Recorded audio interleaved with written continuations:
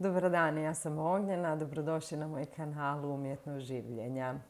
E, danas ćemo razgovarati o tome kako se e, ponašaju narcisoidni roditelji. Znači, e, kako ako ste vi dijete u toksičnoj obitelji i roditelji su vam unutar klaster bija i najčešće to budu narcisoidni jedan roditelj ili oba roditelja, koje su metode koje ti ljudi koriste znači u tom nekom obhođenju sa, sa svojom djecom.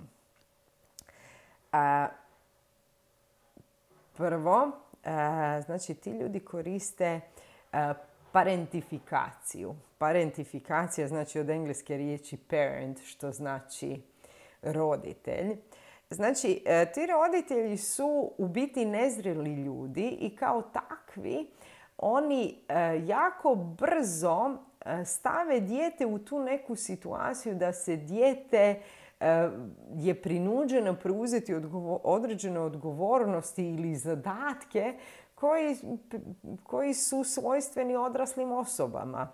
I tu onda se često Znate, tu vam bude ona situacija kada vi imate dijete pa postoji onaj divan izraz star mali. Znači, to dijete, vi vidite da je to dijete, ali to dijete je jako, jako, ne znam, izrelo i preuzima jako puno odgovornosti i stvarno se ponaša kao odrasla osoba. U jednim malom dijelu slučajeva tu se radi o djeci koja su jednostavno zrela. Međutim, e, ja osobno, intimno smatram i ovo ni, ne znam da li je ovo znanstveno dokazano ili ne, ali ja stvarno smatram da e, su djeca djeca i kada se dijete ponaša iznimno E, odgovorno e, i, i kada je dijete iznimno ozbiljno, meni je to već indikacija da nešto tu E, meni je to svojevrsni red flag, nešto tu nije u redu. E, jedni roditelji su jako često fakat su infantilni jer narcis vam uvijek e, funkcionira iz, iz mjesta što meni treba, meni treba hrana, ja sam bitan, ja sam bitna i onda narcisu nije bitno to šta je djetetu potrebno. Ako je narcisu potrebno, ne znam, da ga se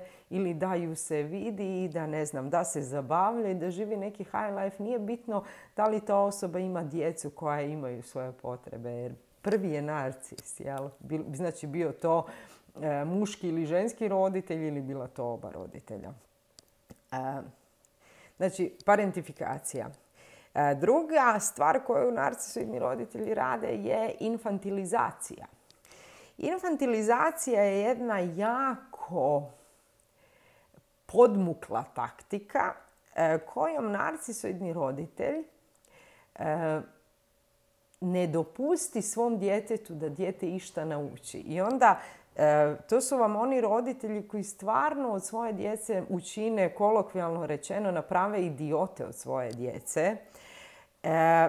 Znači, ma, e, u, u, u ma kojoj situaciji kada dijete, ne znam, ide nešto napraviti i to, e, narcisoidni roditelji zauzme onaj stav, ma nemoj ti to, to ću ja, ti to ne znaš, ti to nisi sposoban.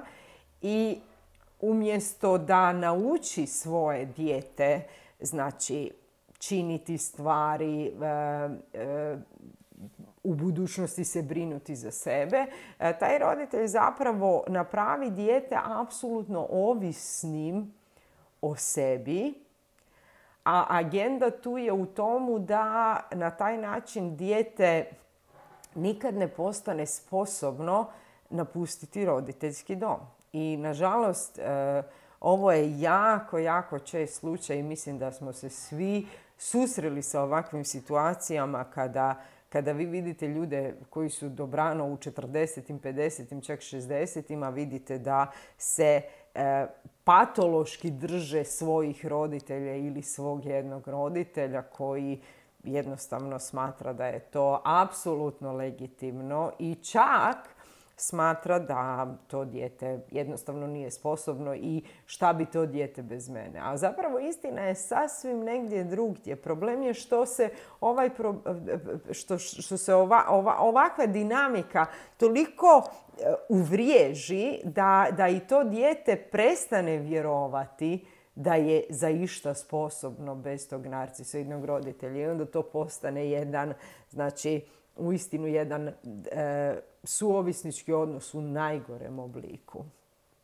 nadalje, E, narcisoidni roditelji naravno trianguliraju. Znači, e, već imamo e, video na temu triangulacije. Znači, narcisoidni roditelj će triangulirati svoje dijete kada smatra da je znači, situacija da tako nešto napravi i to su one situacije ako ste vi to dijete i vi primatelj te triangulacije, to je onaj osjećaj kada kada, kada, kada se vi osjetite da ste izostavljeni. Znači, vi niste dio, vi niste preferirani, vas se ne želi. E, narcisoidni roditelj će, će triangulirati dijete, znači sa drugim djetetom ili sa drugim roditeljem ili sa rođacima, znači ovisno kakva je, e, kakva je familijarna struktura, ali će svakako triangulirati kada E, smatra da je situacija za takvo ponašanje. E, nadalje, e, roditelj, narcisoidni roditelj će koristiti svoje dijete za, za dobivanje svoje narcisoidne hrane.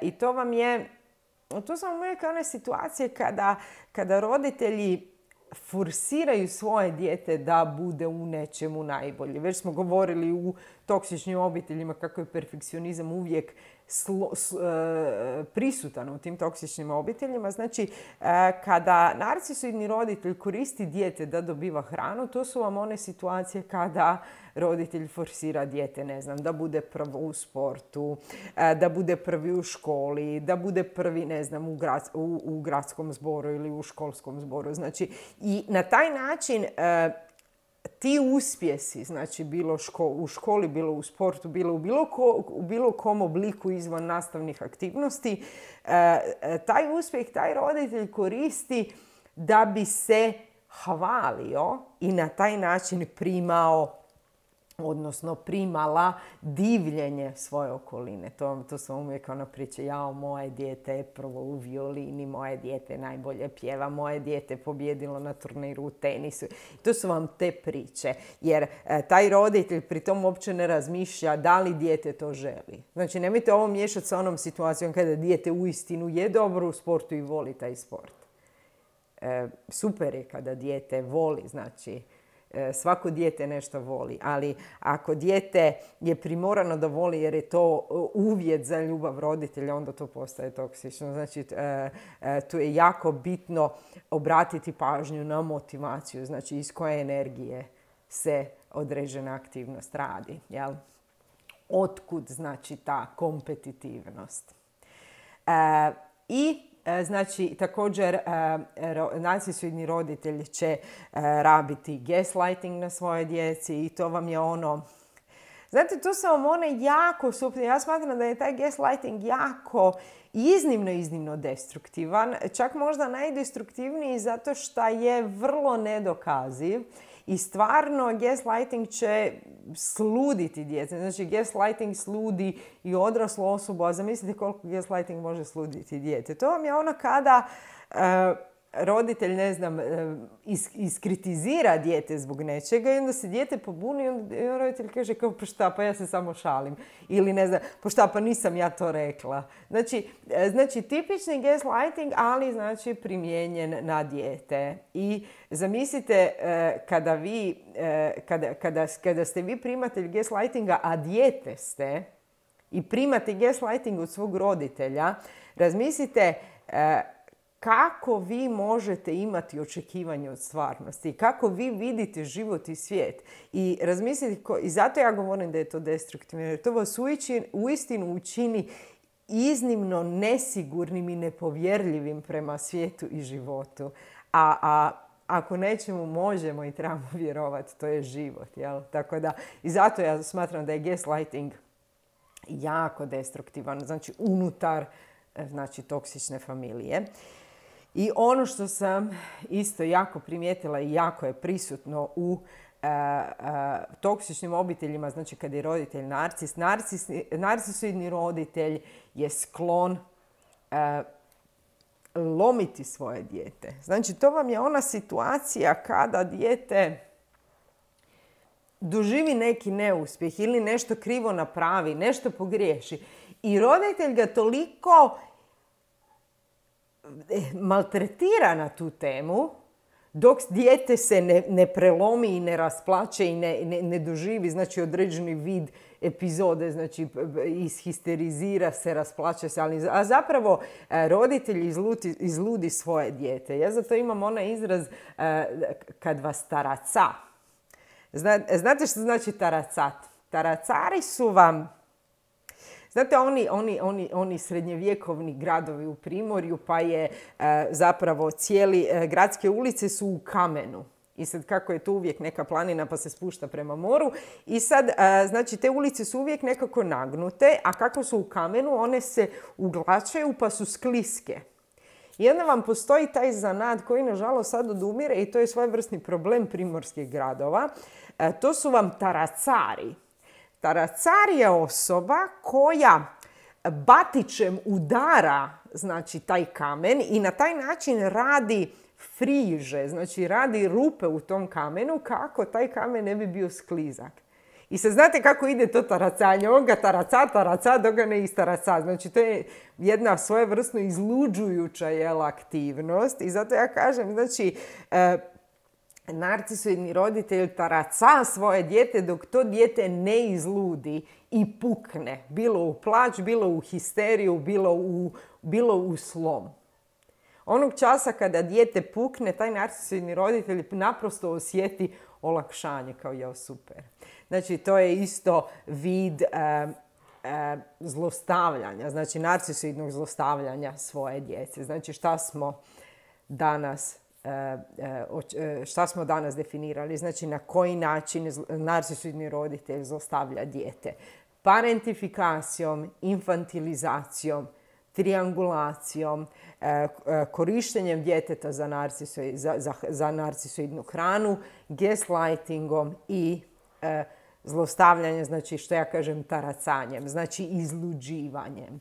Znači, ako, ako se vama ovo događalo ili vam se još uvijek događa, meni je, meni je žao da ste kroz to morali proći ili da kroz to prolazite smisao ovog videa je u biti i zapravo cijelog ovog kanala jest da se educiramo i da prepoznamo eh, te znake zlostavljanja i onog časa kada ih znamo, eh, mi se znamo postaviti.